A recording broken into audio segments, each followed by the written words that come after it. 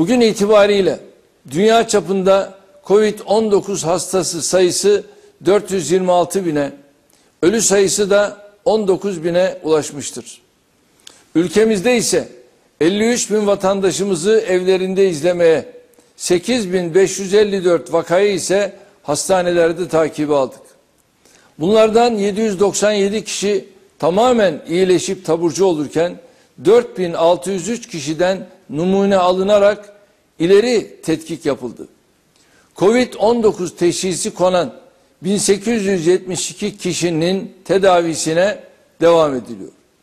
Tedavi altındaki hastalarımızdan 44'ünü ise maalesef kaybettik. Hayatını kaybeden vatandaşlarımıza Allah'tan rahmet, yakınlarına başsağlığı ve sabır diliyorum.